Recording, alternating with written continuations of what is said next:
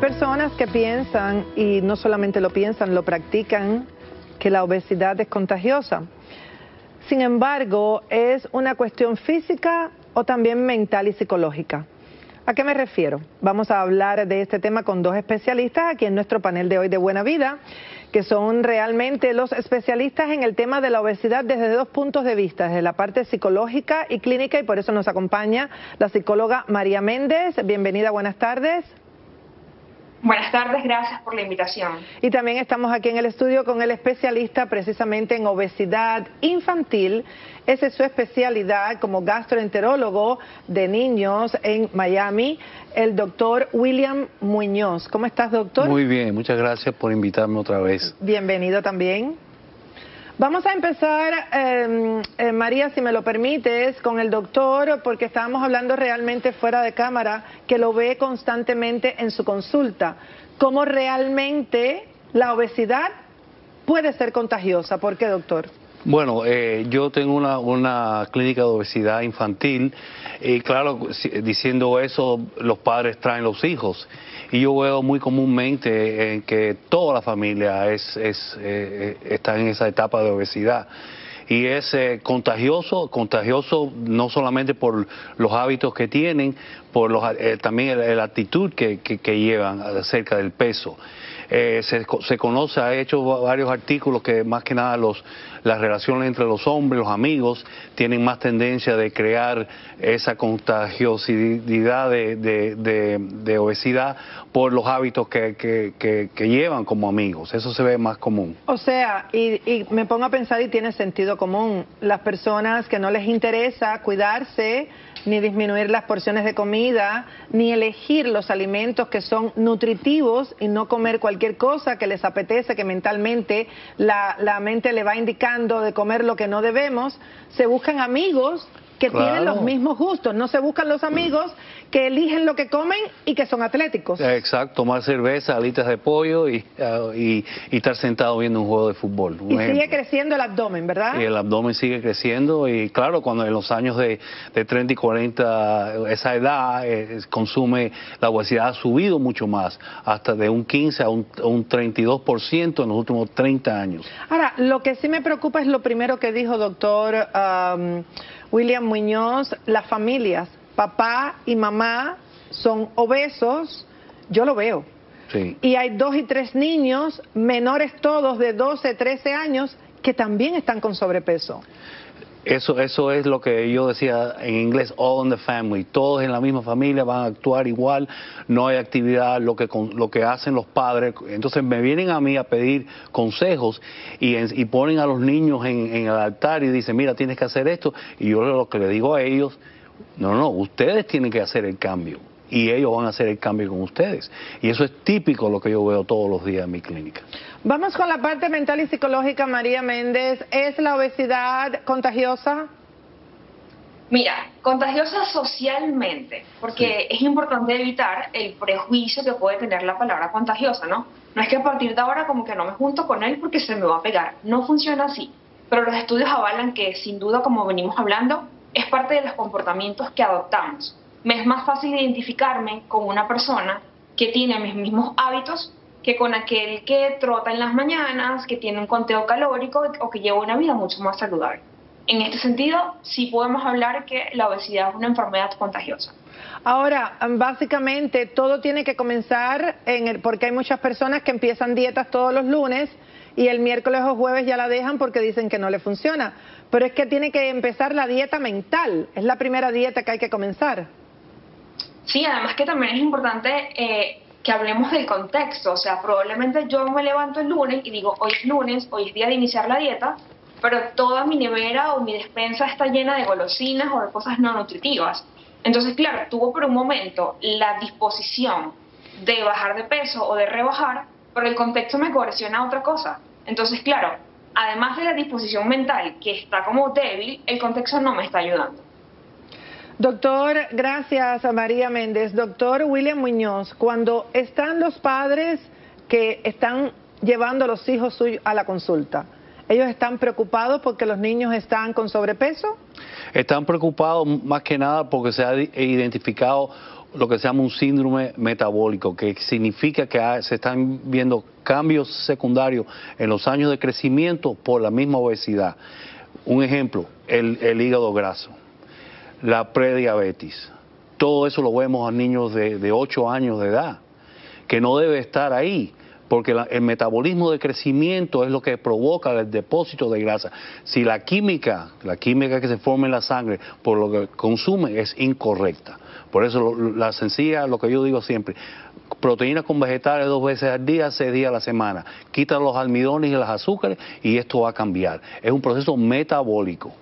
Ahora, además del proceso metabólico, y vamos a hablar de esto más adelante, seguimos con el doctor William Muñoz aquí y también con la psicóloga María Méndez, qué hacer para que los padres realmente entiendan que están enfermando a sus hijos. Y con eso regresamos.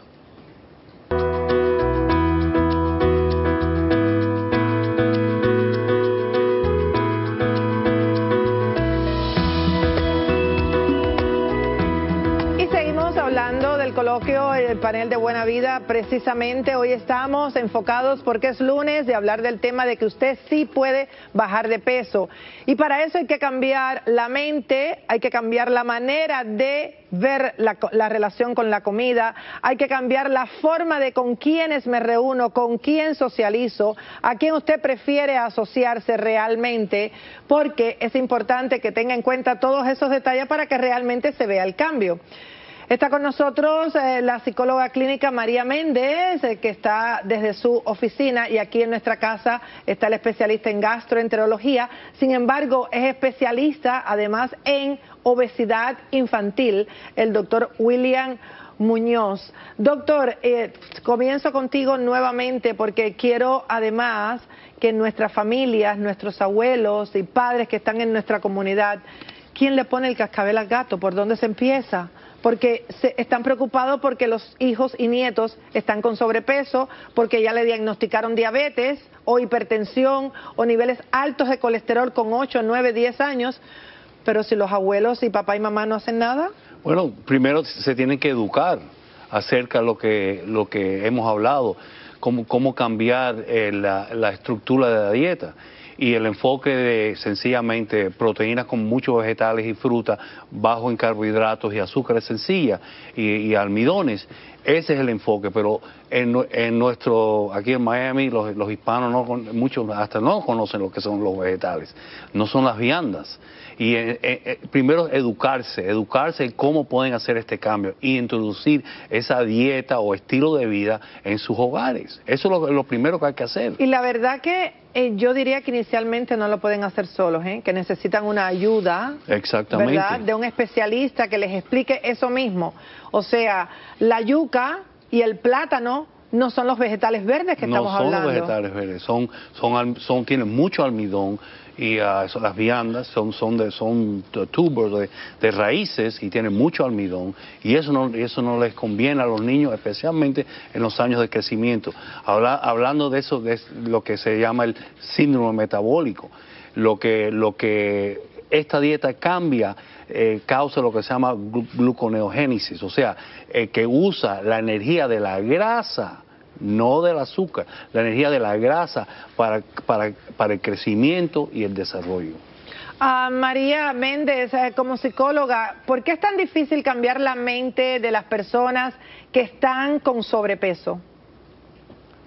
Porque estamos hablando de años de condicionamiento. En nuestro cerebro ya se han creado redes, redes neuronales que instan a que sin pensar tengamos un tipo de comportamiento inconscientemente nos levantamos y ya tenemos en nuestra mente un perfil de desayuno, un perfil de almuerzo o cena.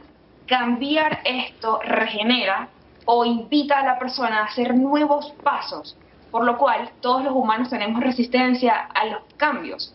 De aquí entonces radica la importancia que si vamos a iniciar un nuevo estilo de vida, lo veamos así, no como una dieta restrictiva que nos es difícil de cumplir porque inmediatamente la tendencia va a ser a dejarla al paso de unos días.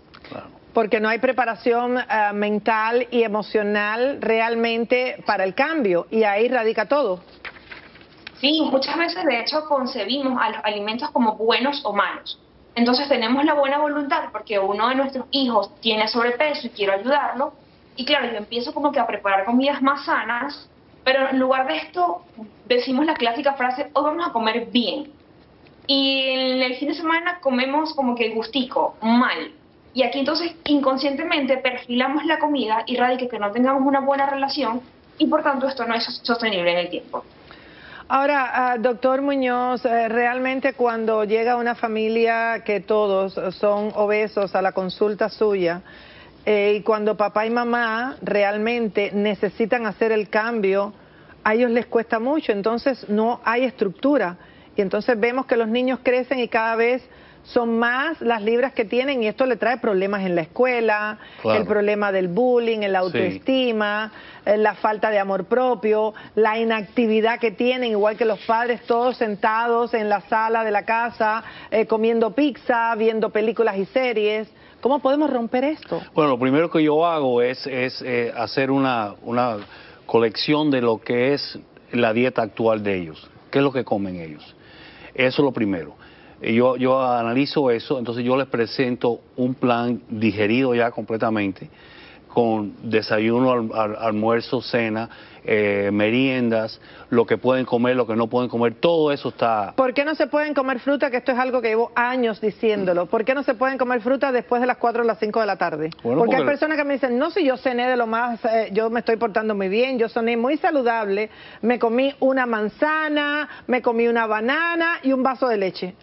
Bueno, la, fruta tiene azúcar, tiene fructosa, y esa y esa es la cosa de, de, cuando lo que cuando vas a entrar a dormir estás entrando en un, periodo de, de, ayuna fisiológica intermitente porque estás durmiendo. Entonces lo que lo que se mantiene más o sube más la insulina y causa depósito de grasa es las azúcares. Exactamente. Ahí está la respuesta las frutas son saludables sin embargo, es mejor comerlas durante el día. Durante el día. Gracias, doctor. Eh, me ha encantado este tema que hemos tratado. Gracias a nuestra psicóloga María que estuvo con nosotros en el día de hoy. Doctor Muñoz, muchas gracias.